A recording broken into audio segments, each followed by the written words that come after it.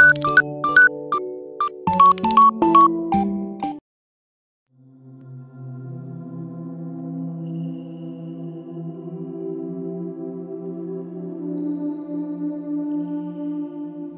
I'm painting nudes, I definitely feel a